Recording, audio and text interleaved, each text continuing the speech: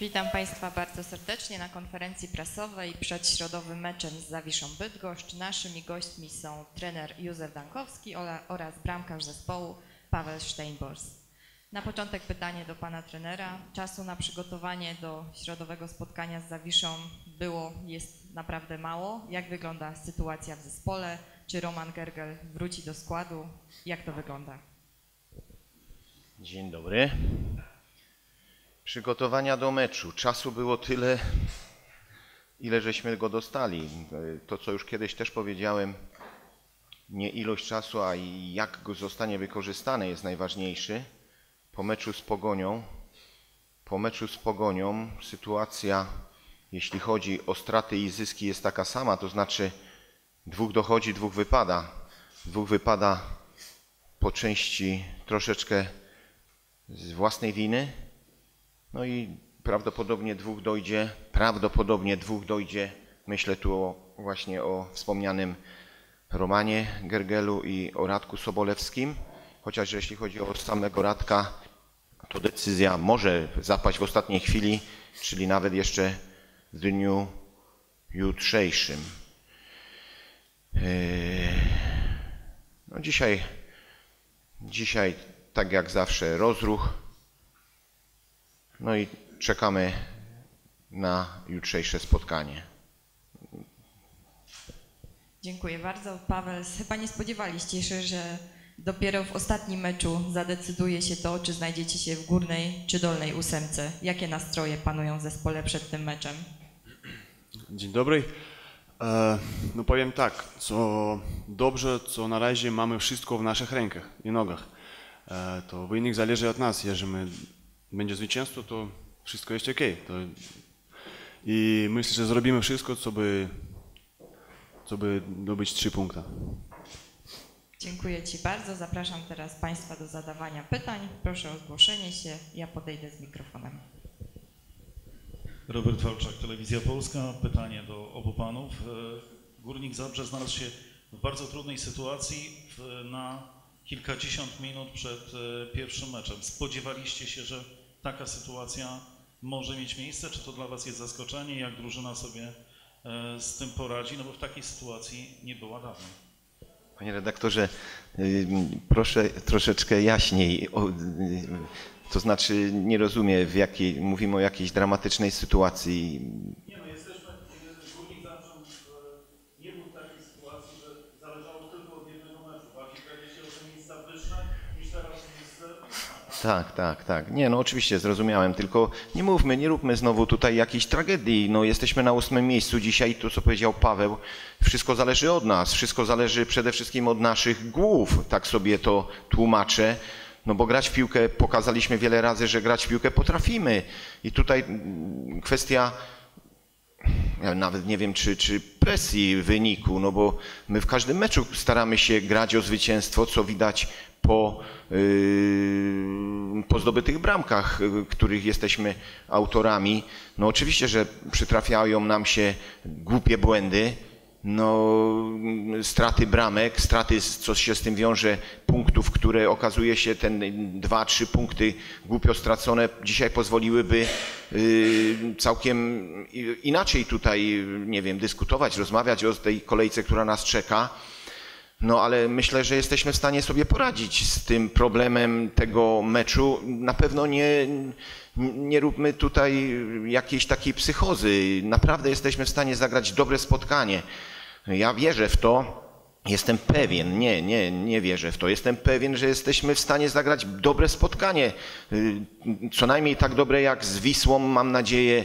Y, Pierwsza połowa w meczu z Pogonią też y, oczywiście strata bramki do szatni spowodowała, że ta druga połowa już wyglądała inaczej, ale ta pierwsza połowa nie wskazywała na to, że my wrócimy na tarczy ze Szczecina. Także jesteśmy w stanie sobie poradzić z tą sytuacją i jestem pewien, że w dobrym stylu. Paweł, widziałem uśmiech na Twojej twarzy, tak więc psychicznie jesteście mocni.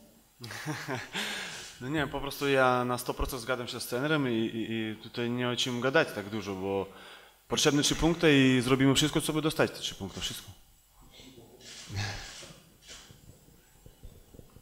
Łukasz Pawligol.pl. Ja mam pytanie do trenera Dankowskiego. No, Zawisza miał za sobą serię sześciu zwycięstw rzędu, ostatnio dwie, dwie porażki. Czy to dobrze, że właśnie te dwie porażki się przydarzyły przed meczem z Górnikiem, czy jednak wolelibyście właśnie grać, gdy ta seria była kontynuowana? Dziękuję. Każdy mecz jest inny, każdy mecz ma swoją historię. Myślę, że taki, y, czy te dwie porażki będą miały wpływ na, na, na grę Zawiszy, nie wiem, nie wiem. To jest, myślę, dopiero będziemy wiedzieli po meczu.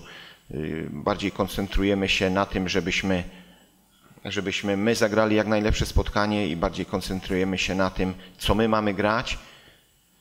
No i, i w jakim ustawieniu. Nie ukrywam, że to też jest dla nas na dzień dzisiejszy jeszcze taki, y, taki, mm, taki problem, który nie do końca mamy rozwiązany.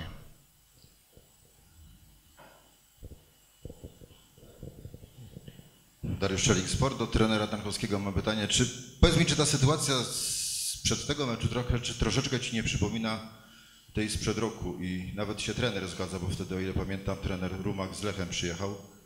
Też gdybyście wygrali, wszystko by zależało od Was, przy porażce od innych wyników. Dużo analogii, czy, czy, czy, czy aż tak dużo nie? Inny rywal, troszeczkę chyba słabszy dzisiaj niż rok temu, to na pewno. Jeszcze raz co? Inny rywal, troszeczkę chyba słabszy niż rok temu, bo wtedy Lech przyjechał. Nie, nie, nie, nie, nie, nie, nie, nie, nie. Tu panie redaktorze, nie dajmy się, my się na pewno nie damy tutaj wpuścić w żadne, żadne dywagacje, że ktoś jest słabszy albo ktoś jest słaby, ktoś jest na ostatnim miejscu. Yy, Wiele meczów, yy, nie tylko tej wiosny, ale wiele meczów, yy, gdzie już przed meczem wskazywało się na pewnego zwycięzcę, no, było błędem wskazywanie na, na, na, na, na pewnego zwycięzcę przed samym spotkaniem. My musimy zrobić swoje, my musimy zagrać dobre spotkanie, y, żeby udowodnić tutaj y, wyższość nad rywalem, który właśnie tak jak tutaj pan redaktor wspomniał, y, tej wiosny wygrał sześć meczów, ostatnie dwie porażki niczego nie zmieniają w tym, że tego rywala trzeba szanować i trzeba podchodzić do tego spotkania y, z bardzo wielkim szacunkiem do tego, do tego przeciwnika. Nie dzielmy skóry na niedźwiedziu. Y, Zróbmy, wybiegajmy, wy, wygrajmy ten mecz w taki sposób, w jaki żeśmy wiele razy pokazywali, że y, potrafimy grać i, i, i cieszyć tą swoją grą naszych wiernych kibiców. Dziękuję. Bardziej pytałem o jaką atmosferę wokół tego meczu. Czy ona Ci troszeczkę nie przypomina tamtej sprzed roku, kiedy też ostatni mecz decydował o tym, czy będziecie w ósemce, czy nie?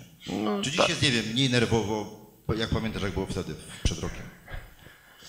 Yy, Tak, może, może po części yy, at, mm, atmosfera czy cały klimat przed tym meczem przypomina tamten sprzed roku, ale to było rok temu. W tamtym roku zdobyliśmy bodajże w 10 spotkaniach czy w 11 tylko 4 punkty. Dzisiaj zdobyliśmy tych punktów 12. Yy, strzeliliśmy dużo więcej bramek, dużo więcej też straciliśmy, no ale yy, sytuacja, sytuacja myślę, że jest dużo lepsza niż rok temu, dużo lepsza, jeśli chodzi o samą atmosferę w zespole, w klubie. Jeszcze mam pytanie o te nieobecności. No, który brak którego piłkarza, czy jednak Kosznika, czy, czy Augustyna dzisiaj jest dla Was jednak troszeczkę większym problemem na te 20, nie wiem, 9-30 godzin przed pierwszym gwizdkiem? Ubytek każdego piłkarza mm, jest, jest, no, jest, jest jakimś dylematem. Yy, Dlaczego? No dlatego, że mm, zespół już był gdzieś tam ukształtowany. Pewne nawyki, pewne, mm, pewny sposób poruszania się każdego z jednego z tych zawodników yy, był już znany przez resztę. Wchodząc yy, ten yy, zawodnik, który ma go zastąpić, jestem też przekonany, że zrobi to w dobrym, w dobrym stylu y, zastąpi y, jednego czy drugiego delikwenta y, dobrym występem, Mm, no ale też dyspozycja, dyspozycja mm, dnia będzie miała tutaj znaczenie. Y, Zawodnik grający cały czas, myślę tu o Rafale Koszniku, myślę tu też o Błażeju Ko- Augustynie, który jest cały czas w tym, w tym ciągu meczowym, no jest jednak też znacząco ważna do, no, do, do tej całej całości, do takiej całości związanej z dyspozycją. Myślę, że Myślę, że też możliwość, yy, możliwość zareagowania, mając dwóch zawodników takich właśnie yy, z taką liczbą meczów, yy, czy to w składzie, czy to na ławce, daje większe możliwości nam, trenerom, do, do mm, manewrów, które są związane z, z przebiegiem meczu. Jeszcze mam pytanie, tylko o zgrupowanie. Jedziecie w końcu, czy, czy jest decyzja, że nie? Mecz jest późno. Jak, jakie są ustalenia? Yy, Idziemy ścieżką tą, którą żeśmy poszli przed meczem z Wisłą Kraków. To znaczy dzisiaj po meczu, dzisiaj po, po treningu, dzisiaj po treningu rozjeżdżamy się do domów, spotykamy się jutro yy, na, na obiedzie wspólnym, no i już od godziny 13 jesteśmy razem do meczu. Tak mam mikrofon, to jeszcze do Pawła jedno pytanie. Nie jest, nie jest tajemnicą, y, piłkarze, działacze pod Beskidzia mówią o tym głośno, że za awans do ósemki piłkarze dostają 1 400 tysięcy złotych do podziału.